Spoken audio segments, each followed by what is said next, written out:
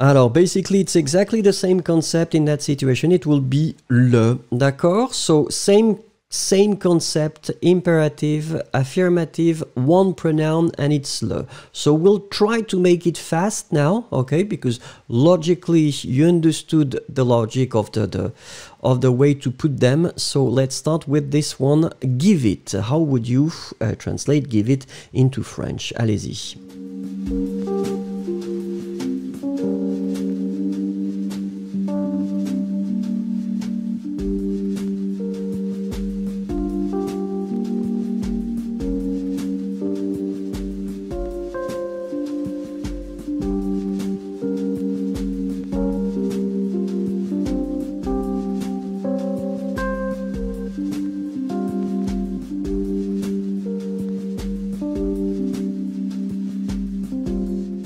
Alors, in that situation, we agree that it's the same concept. You don't really need to think that much. It's le. So basically, your verb is done, and after that, you will put le.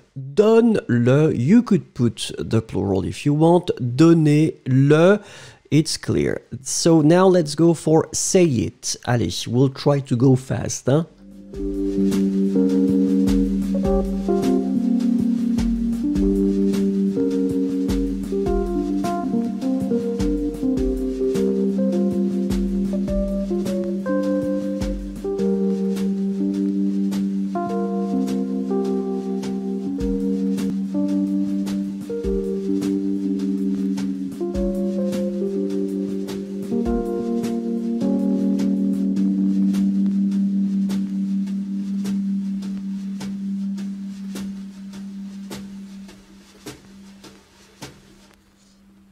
Alors, in that situation, as usual, we've got the two options. So whether you go for the singular and then it should be dis le. Remember to write it D-I-S.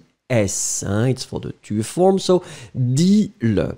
Or then if you want to go for the, I mean, polite form or the vous form, in that case, it should be dites. And we agree that you write it D-I-T-E-S. Dites le.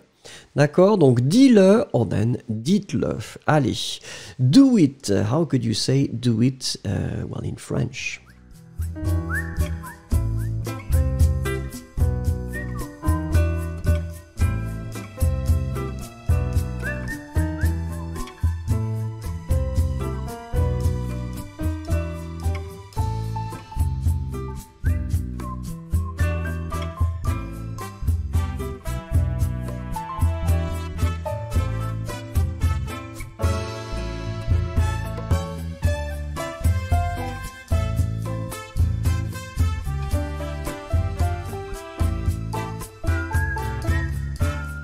Alors, alors, the verb is faire, of course, and so two options, uh, whether it's for the singular, fais, remember, it will be written F-A-I-S, hein? Fais-le, or then you could put that in the plural form, in that case it would be faites, F-A-I-T-E-S, faites-le. D'accord Fais-le, or then faites-le. Allez, let's have a look at take it another verb. Take it, how do you say take it in French?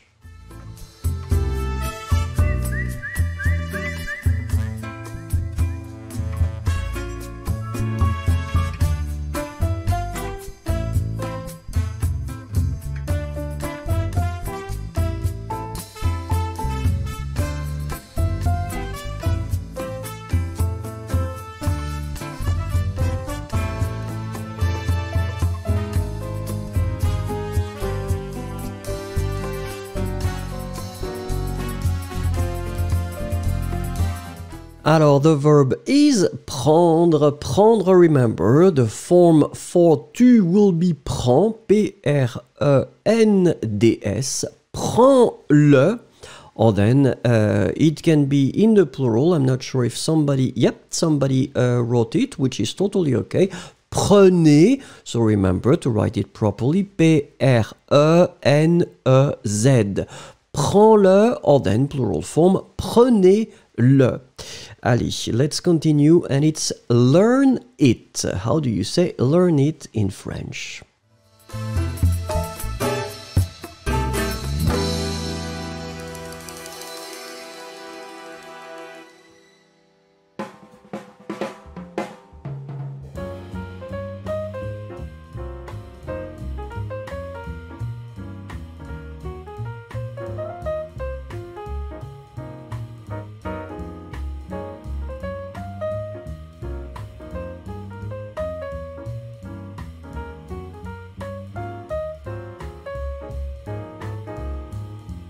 Alors, très bien. One more time. Remember that the verb apprendre belongs to the third group. So, what does it mean? It means that when it comes to this imperative form, it's exactly the same form as the present of the indicative. So, you write it exactly the same way. Apprends, remember, this is the way to write it properly. In the end, it's des S. So it should be there. The S should definitely be there. You don't pronounce it, but then it should be there. Apprends-le. D'accord? Or then if you want to put uh, the, the vous form, I mean uh, the, the plural form, apprenez le. D'accord? Apprends-le, or then apprenez-le. Allez, on continue. Write it. Write it. How do you write? How do you? Yeah, write, write it in French.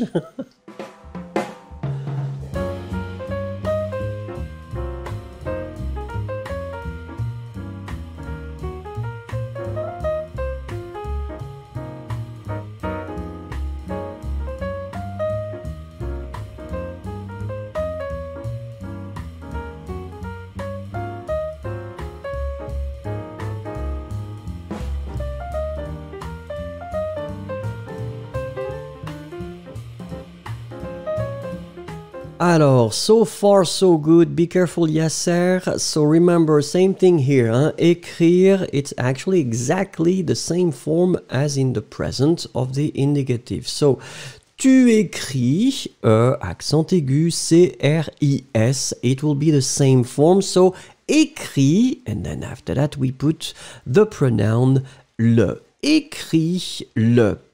Uh, or then it, it can be the, the, the, well, the plural form as we had previously. It's écrivez, écrivez-le. D'accord? Écris-le or écrivez-le. Allez, listen to him. How do you say that, uh, well, in French?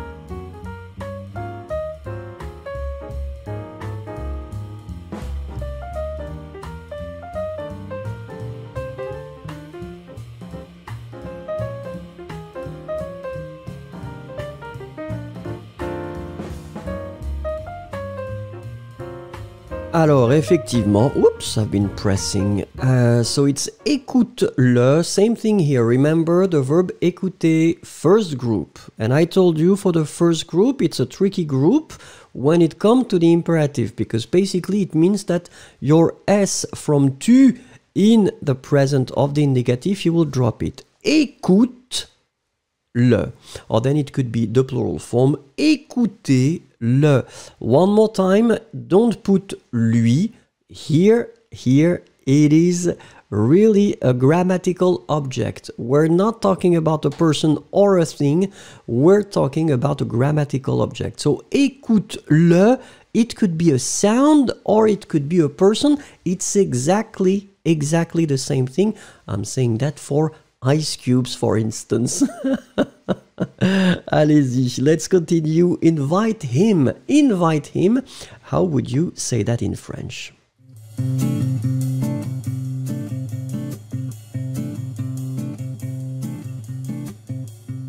Alors non, Danish, hein, I just explained, so I hope you, you understood. Uh, écoute-lui, non, it's, it's totally not correct, uh, because basically, écouter goes without a preposition. It's grammatical, it's not related to the fact that it's a person or an object, or a sound, it's just grammatical. Écouter, no preposition, so we're going for the uh, pronom complément d'objet direct.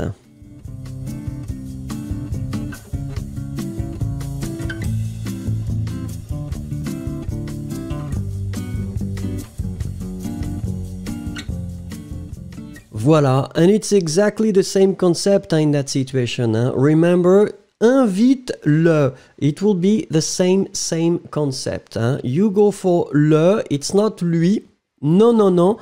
It's invite-le. If it's the feminine form, it would be invite-la, as we had previously, I mean, in the previous exercise.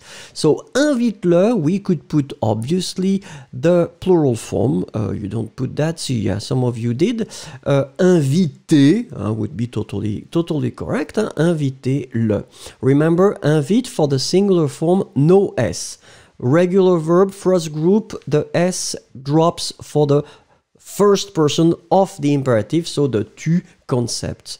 Allez, on continue. Look at him, look at him.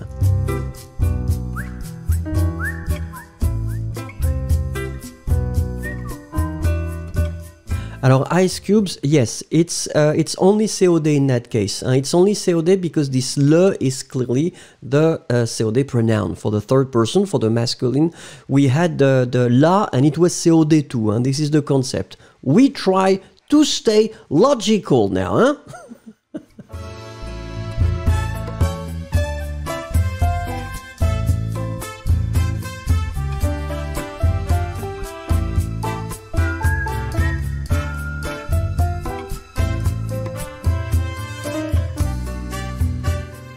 Alors, tout à fait, tout à fait, félicitations. So in that case, it's the verb regarder, regarde-le, or then it could be regardez-le, no problem, everybody got it, félicitations. Oh, it's so nice. It's so nice when I can realize that you get the thing. Hein?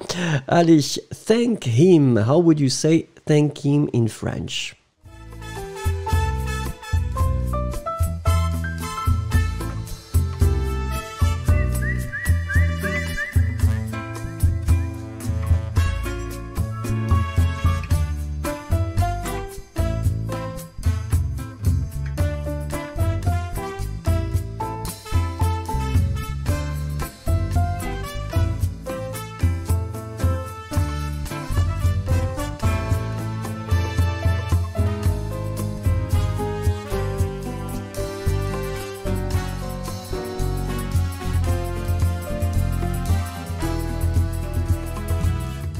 Alors effectivement, effectivement le verbe, le verbe, so the verb is remercier. Remember, remercier, it's a regular verb from the first group.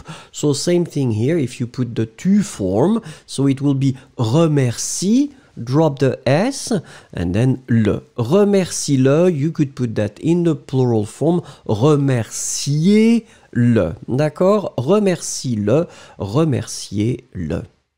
Allez, call him, call him.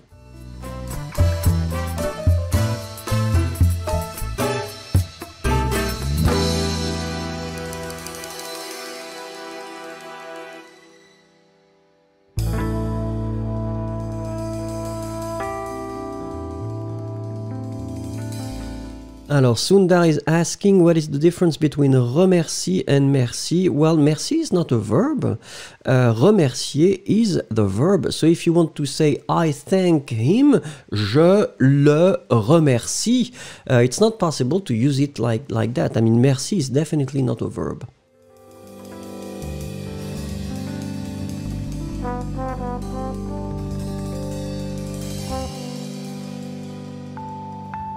Alors, one more time, hein, we had that for the feminine, so normally it should not be a problem for the masculine. It's appelle, one more time, double L-E, remember, and then le. If it's the plural form, it should be appelez-le. Appelle-le, appelez-le. I mean, so far, uh, everything is clear. So, félicitations, Yasser, be careful. The idea is to write with the le in that case. So, don't go for the lui. The exercise is with le, appelle-le. D'accord? Merci beaucoup.